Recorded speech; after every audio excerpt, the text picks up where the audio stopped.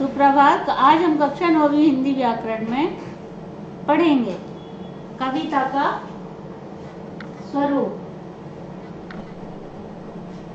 कविता का स्वरूप और विकास। कविता क्या है? कविता क्या है?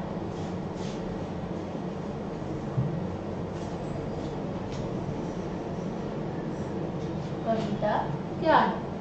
कविता सुप्रसिद्ध समालोचक एवं चिंतक थे आचार्य रामचंद्र सुखी ने कविता को परिभाषित करते हुए लिखा है कि कविता वह साधन है जिसके द्वारा सृष्टि के साथ मनुष्य के रागात्मक संबंध की रक्षा और निर्वाह होता है। इस परिभाषा की तीन विशेषताएँ हैं। जैसे, कविता मानव एकता की प्रतिष्ठा करने का एक साधन है, और यही उपयोगिता है। फिर कविता में भाव एवं कल्पना की प्रधानता होती है। कविता के द्वारा हम भाव प्रकट कर सकते हैं और काल्पनिक भी, कल्पना भी कर सकते हैं। जैसे श्री कृष्ण जी हमको दिखाई दे रहे कल्पना करो। तो अगर हम देखेंगे, उनका स्वरूप तो हमें दिखाई देंगे। फिर कविता में कवि की अनुभूति की अभिव्यक्ति भी रहती है।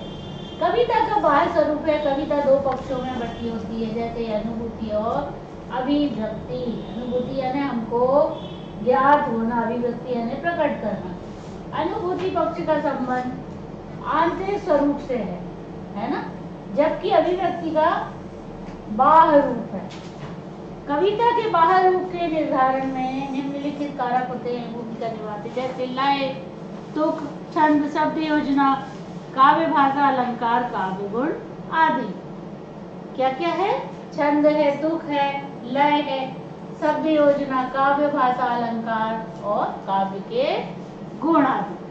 कविता का आंतरिक पक्ष काव्य की आत्मा होती है। रसात्मा का और तीव्रता, भाव प्रकट करना, विचारों का समावेश भी रहता है।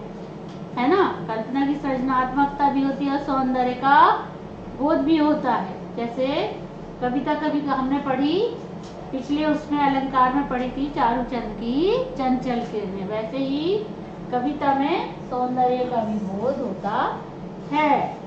फिर इसके अंतर्गत सौंदर्य विचार, नाद, सौंदर्य और अप्रस्तुत योजनाएँ को शामिल किया जाता है। काव्य के भेद।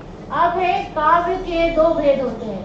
दृश्य काव्य और श्रव्य काव्य दृश्य काव्य यानी देखने से है, आशय उसका।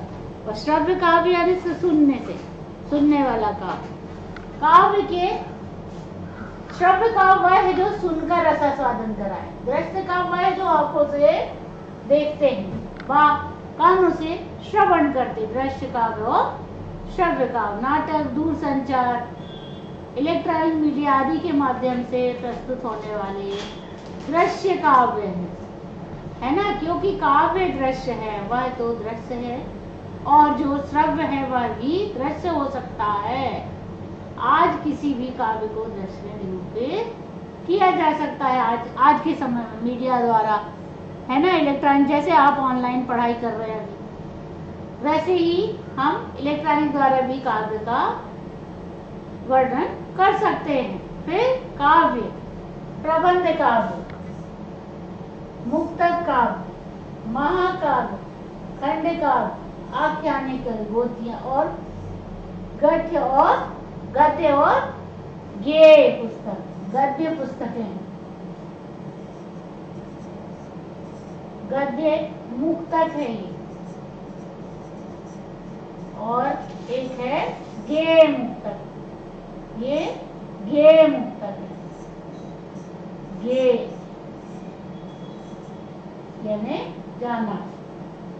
फिर महाकाव्य खंड काव्य और आखानी गीतिकाएँ भी होती हैं। काहे में होती है ये? दृश्य काव्य और श्रव्य काव्य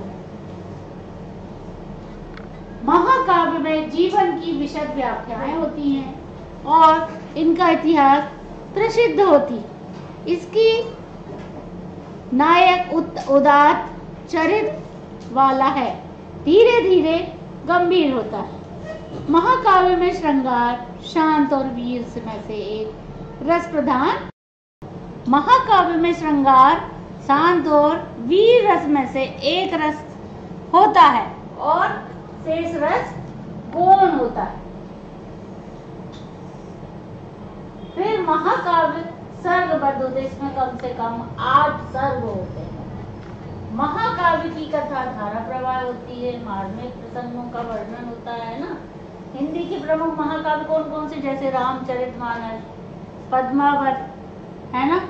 मलिक मोहम्मद जायसी की लिखी हुई, मैजी शरण गुप्त की, कामायनी जय जय प्रसाद जी की, उर्वशी रामधारी सिलकर की आदि महाकाव्य रचनाओं को हम पढ़ के देख सकते हैं इन महाकाव्य में क्या वर्णन है या काहे का चित्रण किया गया है। खंड काव्य खंड काव्य में जीवन की किसी एक भाग या एक घटना या चरित्र का वर्णन होता, किसी एक का होता है खंड काव्य में।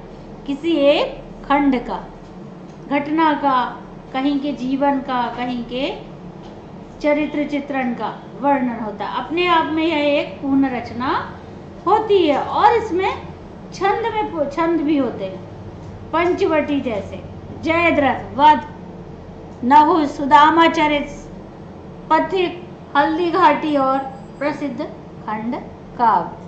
आख्यानिक कृतियों के बारे में हम देखेंगे अब कि आख्यानिक कृतियाँ क्या है। महाकाव्य खंड काव्य से भिन्न पद्यबद्ध कहानी का नाम आख्यानिक गीति है। क्या है? महाकाव्य और खंड काव्य से अलग होने वाले पद्यबद्ध कहानी का नाम आख्यानिक गीतिकाएँ, कृतियाँ हैं। वीरता का वर्णन, साहस, पराक्रम, प्रेम, बलिदान और करुणा आदि से प्रेरित प्रेरित घटनाओं का वर्णन, प्रसंगों का कथा के माध्यम से अभिव्यक्त किया जाता है इसमें। किसमें आख्यानिक कृतियों में, इसकी भाषा सरल और रोचक होती है। गीतात्मक और नाटकीय की विशेषता है।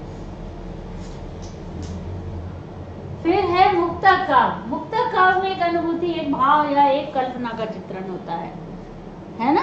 किसी एक भाव या कहीं की कल्पना का चित्रण होता। मुक्ता काव्य की भी भाषा सरल और स्पष्ट होती है। फिर क्या बताए? इसमें विषय अपने आप में पूर्ण होते हैं और छंद इसमें स्वतंत्र रहते हैं। छंद इसमें क्या रहते हैं? स्वतंत्र होते हैं। उदाहरण की जैसे बिहारी रहीम सूर के मीरा के दो है। मीरा के दो है हमने पढ़े जैसे।